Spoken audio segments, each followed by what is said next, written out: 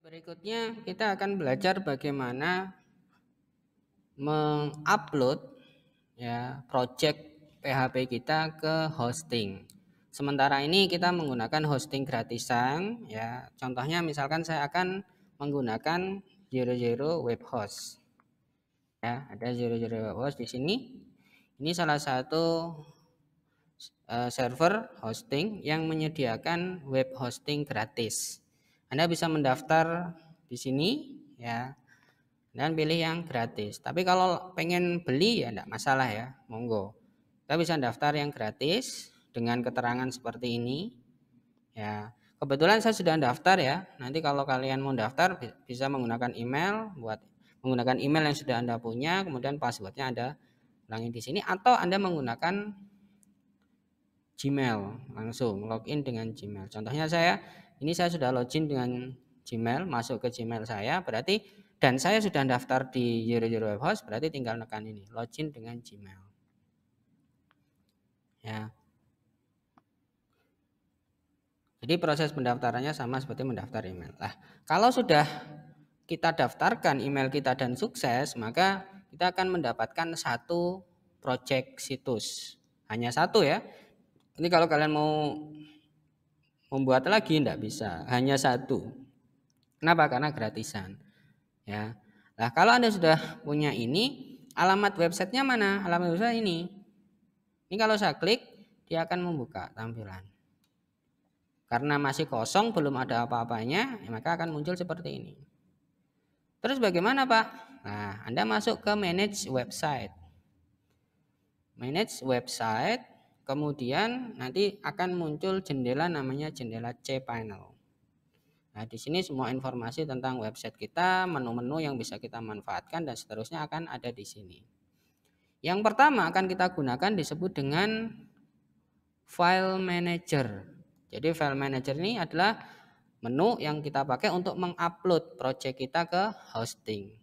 Nah, ini diaktifkan, masuk ke sini maka kita akan mendapatkan tampilan dari jendela file manager. Jadi ini seolah-olah seperti Explorer tapi ada di dalam hosting sana ya.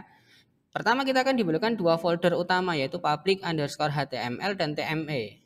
Dua folder ini folder dasar, tidak boleh Anda hapus. Terus project kita akan ditaruh di mana? Project itu akan kita masukkan ke dalam public HTML di sini. Jadi harus kita taruh di sini. Terus cara mengirimkan projectnya bagaimana Pak? Cara mengirimkan projectnya, Anda masuk ke project yang ada di sam doc, masuk ke projectnya. Misalkan web school ini ya. Ini semua project yang kita anggap sudah siap untuk di hostingkan. Maka ini kita sorot, kemudian kita klik kanan, jadikan dia file zip. Jangan file rar ya, nanti tidak terbaca oleh Zero Zero Web Host. Jadi walaupun kita punya RAR, kita arahkan ke zip. Ya, kita arahkan ke zip, maka dia akan muncul seperti ini. Oke. Nah, ini boleh kita namai web host atau web school sesuai dengan projectnya ya. Nah, ini pastikan tidak bermasalah. Jadi Anda double klik, Anda ekstrak misalkan di sini di lokal ini file yang benar maksudnya gitu, tidak terjadi trouble. Ya. Kalau sudah, maka file ini bisa kita drag drop masuk ke dalam project. Ke dalam hostingnya. Tarik seperti ini. Ya, otomatis akan langsung diarahkan untuk diupload. Jadi kalau filenya tidak terlalu besar, projectnya ya tidak akan lama ya. Oke, akan masuk di sini.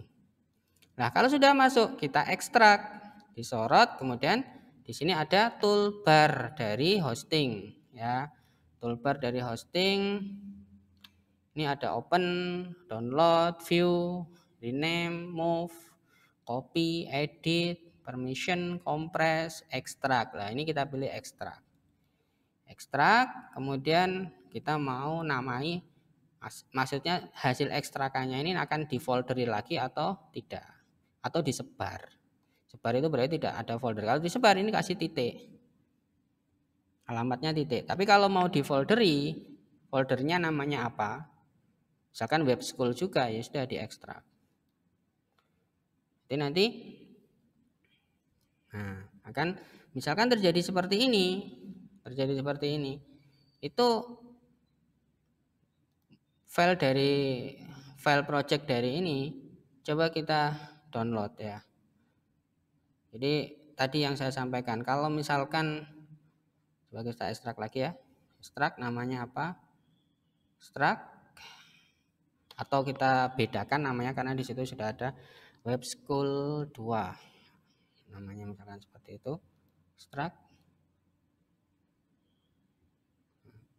can open that file no such file or directory lah. Kalau muncul seperti ini ada kemungkinan proses upload itu trouble ya. Jadi kita punya masalah di sana. Kita cek ukuran filenya berapa 2,6 kilobyte. Ini kalau kita buka normal ya di sini ya, tapi kita tidak tahu pada saat proses upload itu trouble atau tidak, bermasalah atau tidak. Seperti itu. Nah, kalau ternyata kita tidak bisa menggunakan model zip untuk mengirimkan, nah ini terpaksa, terpaksa lagi ini. Bagaimana Pak? Ya harus kita kirimkan satu persatu. Oke ya, kita kirimkan satu persatu filenya ke sini. Caranya bagaimana? Ya caranya ya di drag top folder per folder project. Nah ini bisa memakan waktu cukup lama. Ya, kalau kita mau menggunakan model itu. Atau kita coba pakai RAR ya. Semoga saja mau terima, tidak ada trouble.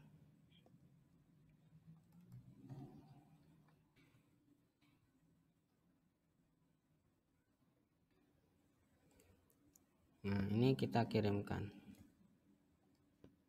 Ini bentuknya rar ya. Ini bentuknya rar, bukan zip. Supaya ini bisa dibaca atau tidak. Biasanya yang mau dibaca mode Nah, ini sebenarnya sudah ada ya folder. Tapi tidak ber, tidak isinya tidak ada apa-apa maksudnya gitu. Tidak menghasilkan ekstrak apa pun. Nah, ini kita hapus saja. Hapus. Nah, coba kita ekstrak yang ini. Mau atau tidak? Ekstrak. Hmm, no strike for rar extension. Benar kan? Rar itu tidak terbaca di sini. Yang mau terbaca itu zip. Atau kita coba ekstrak dengan titik ya. Ekstrak kemudian titik. Ekstrak.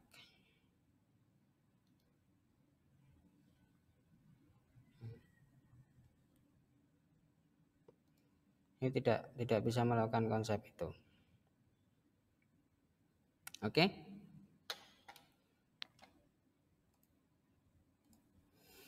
Oke, kalau kita tidak bisa melakukan ekstrak langsung di dalam sini, maka kita menggunakan file namanya unzipper ya. Nah, unzipper ini nanti ada di tutorial Euro Euro sendiri ada, nah, tapi filenya ada di luar. Kita ambil ya. Kita ambil Nah, ini kita download unzippernya. Filenya tidak terlalu besar. Nah, ini ada zipper lah. Semua ini nanti kita ekstrak di sana. Klik kanan, ekstrak here. Nah, ini ya. Unzipper isinya ini. Kemudian file-file ini kita kirimkan ke sini ya kita masukkan jadi ini semua hasil unzipnya disorot kemudian kita arahkan ke ini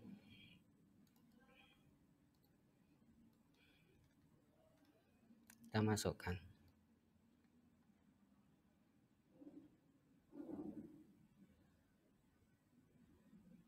Nah, kalau sudah kita panggil unzipper.php itu di sini.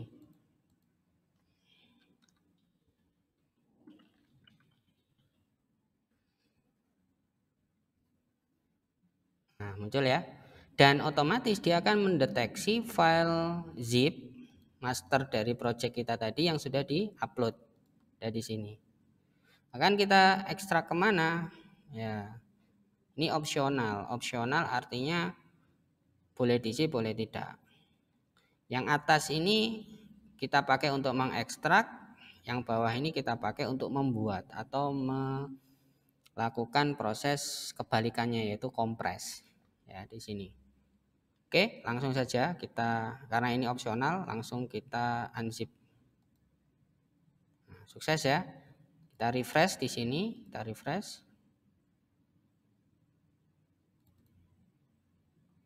Nah, otomatis filenya akan tersebar di sinilah.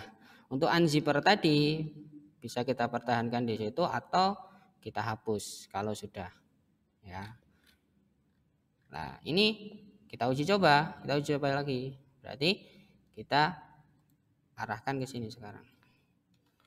Enter. Oke. Sudah nyambung ya, sudah nyambung. Artinya ini sudah terbaca. Halaman kelas kita sudah terbaca. Berarti file ini sudah oke, sudah terbaca. Nah, kalau sudah seperti ini, lanjutannya adalah kita harus men-setting database. Masuk ke menu tool, di sini ada database manager. Oke. Kita buat database. Namanya apa? Misalkan namanya adalah DP kampus, sama ya. Kemudian usernya siapa? Aris, misalkan itu. Usernya harus diisi passwordnya 123 1234 1234 ya ini passwordnya ya 1234 1234 atau di 123456789 si terlalu pendek.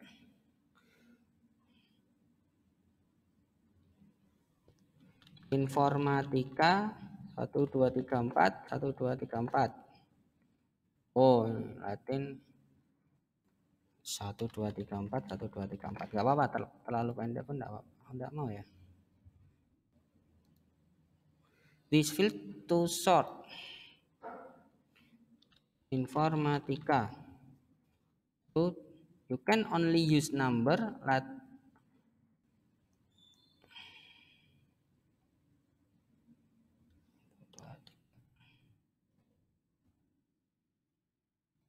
randomis seperti apa? Randomis nah, randomis seperti ini. Misalkan saya informatika satu dua tiga empat. Satu dua tiga empat. Nah mau ya? Jadi ini ya passwordnya. Informatika i nya besar atau dibuat kecil semua? Nggak mau ya harus salah satu besar. Informatika 1234 1234 jangan lupa ini. Nah, dan create database-nya Nah, kan muncul seperti ini. Lah, nilai-nilai ini nantinya itu kita copy dan kita pakai untuk mengedit apa? Edit settingku, kelas. Kelas connect, koneksi. Klik kanan, edit. Nah, ini di edit. Rootnya itu diganti dengan apa tadi? Dengan ini ya lokal uh, hostnya lokal host kemudian usernya ini ini kita salin. Ya. Usernya ini. Passwordnya tadi informatika underscore 1234 1234 oke. Nama databasenya ya nama databasenya. Nah ini nama databasenya sekarang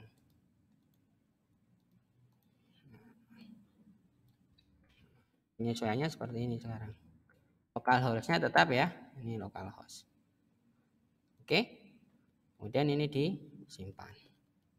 Save save and close boleh save boleh. Dan melakukan saving oke nah sekarang kita manage database nya kita manage database caranya bagaimana? Ya kita akan mengirimkan database yang kita miliki ini Nah, ini bisa dari MySQL font, bisa dari browser PHP MyAdmin ya. Ini kita ekspor, jadikan SQL. Ya.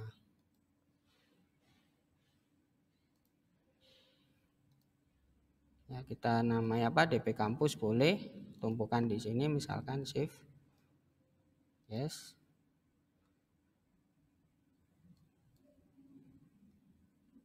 kita close nah ini nama databasenya.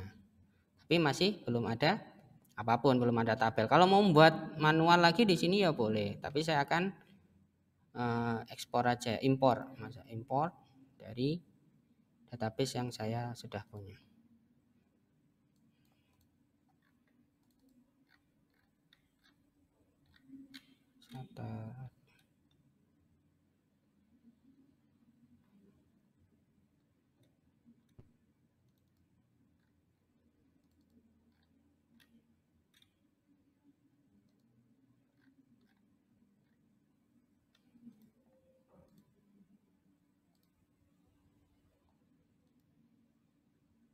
sum data oh data baru sum ya datanya ada di e data baru sum ada di sini ya? Nah ini. Database-nya ada di sini. Open. Udah kemudian kita go.